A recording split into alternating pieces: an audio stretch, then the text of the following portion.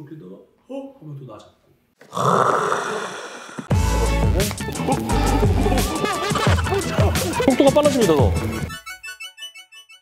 네, 삼촌들 오늘 Merry Christmas 되겠습니다. 오늘 어떤 리뷰를 해볼 것이냐? tech 리뷰인데요. 크리스마스 선물처럼 저에게 다가온 그런 녀석이 있습니다. 3년 만에 장비 업그레이드 바로 소니 알파 7C 되겠습니다. 자, 두 개를 가져와 봤는데 같은 녀석이고요. 이 녀석이 번들렌즈 kit이 들어있는 버전 그리고 바디만 들어있는 버전이고 색깔이 다르기 때문에 보여드리려고 두 개를 가져와 봤습니다. 장비 업그레이드 물론 생각은 했습니다. 상훈이 형 카메라 좀 사. 상훈이 형 초점 좀 잘 맞춰줘. 내가 그걸 모르는 게 아닙니다. 내가 피규어 사는 데는 돈이 안 아까운데 이런 외부 장비 사는 데는 돈이 너무 아까웠어요. 그래가지고 미루고 미루던 게 벌써 3년 가까이 못 쓰고 있는데 최근에 1대1 아이언맨 bust 할 때 승환 씨가 와가지고 막 이렇게 얘기할 때 제가 라이트를 못 잡았잖아요. 그와 중에 제가 야 이거 bust 170만 원짜리 이거 사고 싶다 했더니 포기하시고 그분을 일단 카메라를 사세요. 그거를 소니 쪽에서 보시고 이렇게 또 제품 지원을 해주셨습니다. 감사드립니다. 장비 업그레이드를 여러분들 덕에 또 할 수 있게 됐습니다. 여러분 너무 감사드리고 크리스마스니까 또 특별한 선물 준비했으니까 마지막까지 영상 놓치지 마시고 구독과 좋아요를 부탁드리겠습니다. 자 일단은 제품을 한번 보여드릴게요. 어우 이게 또 unboxing을 해봅니다. unboxing을. 자, 일단은 바디를 하나 꺼내고요. 렌즈도 꺼냅니다. 이 구성품들은 이런 이제 스트랩이 들었고 충전기 그리고 뭐 배터리가 이렇게 들었습니다. 오, 이 녀석은 아, 실버가 이렇게 자태가 아주 예쁘게 등장을 했습니다. 그리고 블랙도 하나 꺼내서 보여드릴게요. 아, 진짜 유튜브 3년 만에 이런 쾌거를 조심스럽게. 이거는 진짜 상 또 떠라면 난리 납니다. 요거는 블랙. 오, 블랙도 너무 느낌 있다. 어, 어, 어, 카메라 떨어뜨린 줄 알고.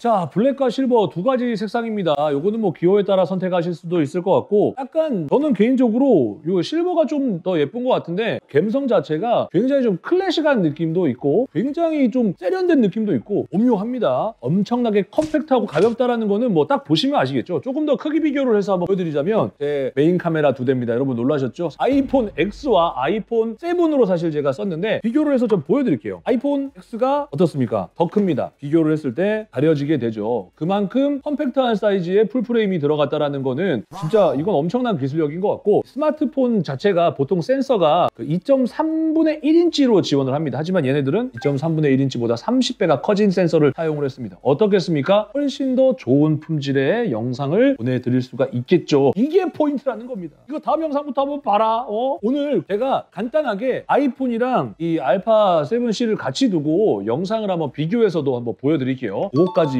여러분들 끝까지 확인을 하시면 좋을 것 같고요. 작지만 강한 녀석, 이 녀석들의 디자인부터 한번 보여드리도록 하겠습니다. 일단은 이 녀석을 한번 끼워 볼게요. 자, 이렇게 카메라 렌즈를 끼우고 디자인을 한번 쭉 보여드리면서 배터리까지 한번 넣어 볼게요. 일단은 기본적인 카메라와 동일하다고 보시면 되겠습니다. 이제 on, off 거기에 이제 카메라 셔터를 누를 수 있고 여기 뒤쪽에는 직관적으로 동영상 버튼을 누를 수 있는 그리고 각종 다이얼들이 달려 있고요. 가운데에 메뉴 버튼과 이쪽에는 기본적으로 뭐 function 키들이 달려 있습니다. 왼 쪽에 뷰파인더가 있고요. 아, 또 가장 자랑할 수 있는 swivel 모드에 LCD가 탑재되어 있습니다. 요거는 이렇게 돌려서 안 쓸 때 넣어주면 이 LCD 화면도 보호할 수 있는 그런 부분들이 있고요. 아래쪽에 이제 배터리를 넣을 수 있는 부분이 있는데 이렇게 눌러서 lock을 풀어주면 이 녀석은 그대로 이렇게 쏙 넣어서 잠궈주면 되겠습니다. 렌즈는 제외한 상태에서 본체의 무게 자체가 일단은 424g이에요. 너무 가볍고 여기에 배터리 넣고 메모리 카드를 넣어도 509g밖에 되지 않습니다. 같은 full frame을 차용하고 있는 마크 3 같은 경우는 650g입니다. 그렇게 따지면은 무려 150g 정도가 가볍다라고 보시면 되겠습니다. 그래서 어, 메모리 카드는 어디 넣느냐? 이렇게 딱 해주면 여기에 메모리 카드 넣어주면 되고요. 위쪽은 이렇게 열면은 여기 마이크 단자가 들어가 있습니다. 그리고 아래쪽에도 아래쪽은 이렇게 여네요. 이렇게 열면 여기에 HDMI 단자가 들어있고 충전기는 C type입니다. 이게 이제 이어폰 단자까지 들어가 있습니다. 작지만 있을 건 다 있다라는 생각을 해보고 소니가 AF 기능이 가장 특화되어 있고 가장 좋다라고 뭐 생각이 되는데 요 녀석들도 엄청난 auto focusing 기능을 가지고 있습니다. 실제로 가장 소니 카메라에서 이제 high-end급이라고 할 수 있는 S3에 들어가 있는 리얼타임 IAF가 차용이 되어 있습니다. 그렇기 때문에 tracking AF도 되고 굉장히 이런 부분들에 있어서는 저한테 가장 좋은 첫 번째 이유 이유인 것 같습니다. 사실 이전 버전에는 사진 찍을 때만 리얼타임 IAF가 들어가 있었는데 이번에는 동영상 모드까지 지원을 해주면서 저같이 1인 유튜버에게는 너무나 좋은 녀석입니다. 두 번째 가장 또 큰 메리트는 제가 그 똑딱이 카메라 초반에 썼다고 했잖아요.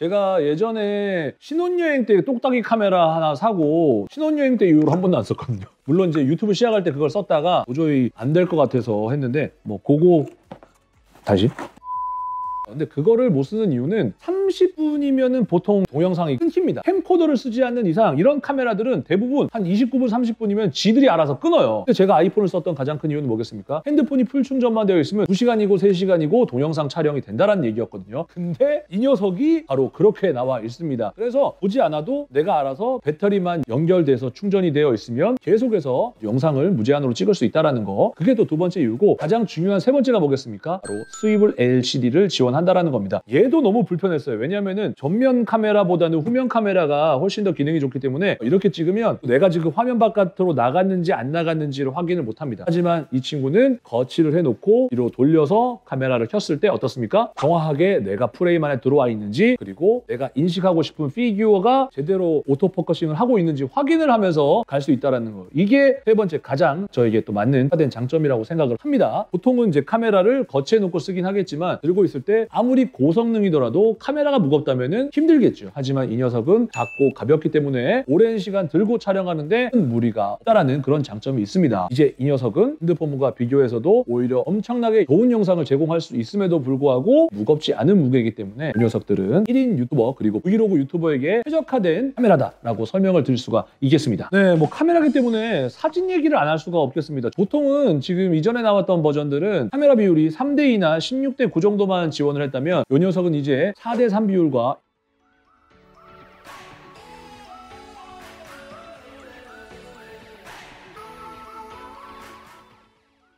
1대1 비율까지 지원을 하기 때문에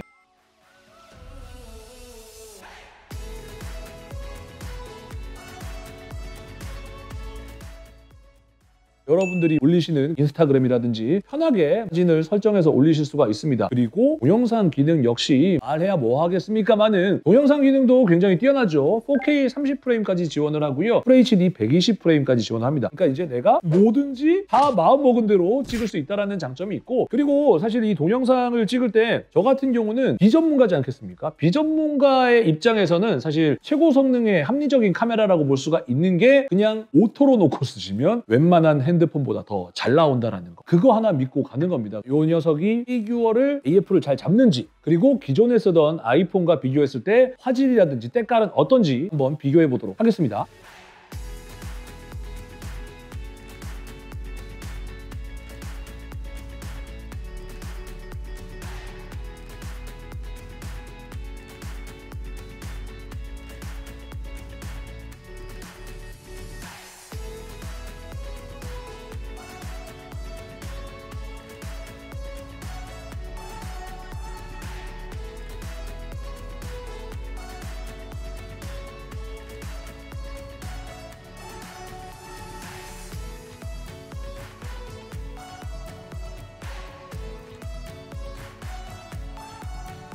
자, 피규어 디테일한 것들을 또 봐야 되지 않겠습니까? 고정해서 찍으면 사실 크게 상관은 없는데 들고 찍을 때가 사실 문제입니다. 이런 카메라들이나 모든 이제 짐벌을 사용하지 않는 이상은 분명히 좀 흔들림이 있거든요. 저도 아이폰으로 인서트 같은 거 찍거나 그런 이제 moving shot을 찍으면 많이 흔들립니다. 이 친구는 5축 손떨림 방지 기능이 있기 때문에 그런 부분들도 어느 정도는 잡아준다고 해요. 또 실험을 해봐야 되겠죠. 자, 한번 보도록 하겠습니다. 일단은 손떨림 방지 기능을 지금 넣어놓은 상태에서 가볼게요.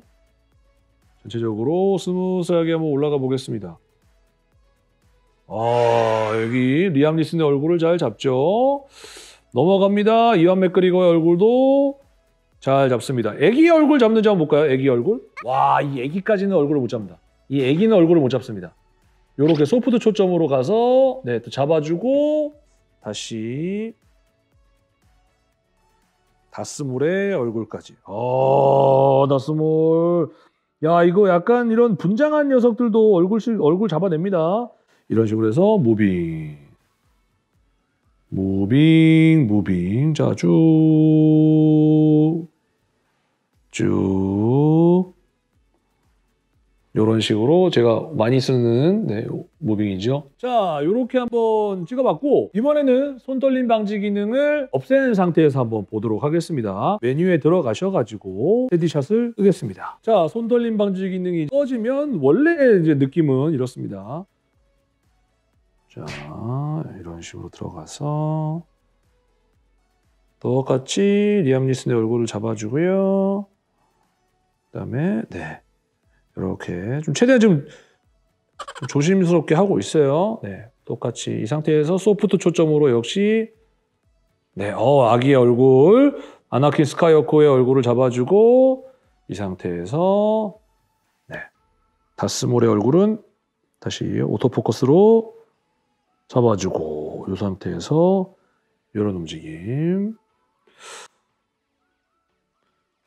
사실 뭐 요, 아, 약간의, 네, 이게 흔들림이, 아, 육안으로도 좀 보이긴 합니다. 어, 확실히 센서를 키고 안 키고의 그런 차이가 좀 있는 것 같아요.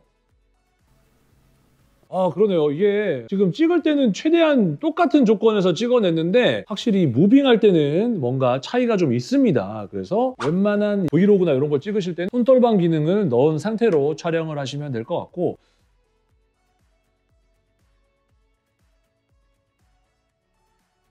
같은 레벨에 두고 보면은 뭐 당연히 예쁘지만 이게 나 위주로 또 잡으면 안 되거든. 피규어는 피규어 위주로 잡아줘야 돼. 나 가려지면 보이고.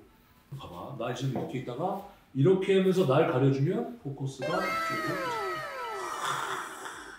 얘를 잡잖아. 얘를 잡잖아. 오. 이렇게 작은 것까지 잡을 수 있는 거고. 뭐 당연히 12인치 피규어들은 뭐 다 잡겠죠. 우와. 오호, 보컬, 보컬. 야, 이상훈 TV 장족의 발전이다. 끝났다. 우와. 하다가 딱 나가면 나 잡히고. 야, 이렇게 해가지고 이 녀석 이제 애기들 요런 작은 애들도 다 할 수가 있을 것 같고 요런 부분도 어떻습니까? 내가 가려서 이렇게 다가 어? 하면 또 나 잡고 와 그래서 음. 와 너무 붙으면 못 잡더라고 좀 제가 예를 들어도 돼요? 네. 어... 뒤가 싹 날아가는 야 진짜 사진을 찍어보고 영상을 촬영을 해보니까 이거는 진짜 좀 비교할 수 없을 만큼의 영상 업그레이드. 이상훈 TV가 조금 더 고퀄로 가는구나 라는 거를 알 수가 있고요. 사실 이 영상 자체만 찍을 용도로 이 카메라를 받았는데 사진을 찍고 나니까 사진 욕심이 또 납니다. 사실 이 카메라를 영상으로만 찍기에는 좀 아까운 녀석인 것 같아요. 사진도 야외라든지 실내에서 찍었을 때 굉장히 사진이 또 잘 나오고 하는 것을 알 수가 있었습니다. 이걸 좀 찍으면서 드는 생각은 이상훈 TV의 리뷰 영상은 동영상으로 간직을 하고 사진은 제 와이프를 좀 담아주고 싶네요. 여보 보고 있지? 안 보지 요즘에. 아. 어떻게 보면 세상에서 가장 작은 full frame 카메라를 한번 소개를 시켜드려 봤습니다. 저같이 디테일한 샷을 중요시하게 생각하는 사람에게는 굉장히 훌륭한 카메라라는 생각을 해보면서 오늘 영상은 여기서 마무리하기 전에 여러분들 또 기다리셨죠? 크리스마스이기 때문에 엄청난 이벤트 선물을 또 가지고 올 거라고 생각을 하지 않으셨겠습니까? 그래서 오늘 선물은요! 알파 7C 카메라는 아니고 어, 요건 나도 비싸서 네. 어이가 없네. 여러분들이 더 좋아하실 것 같습니다. 핫토이 마크 47 아이언맨 되겠습니다.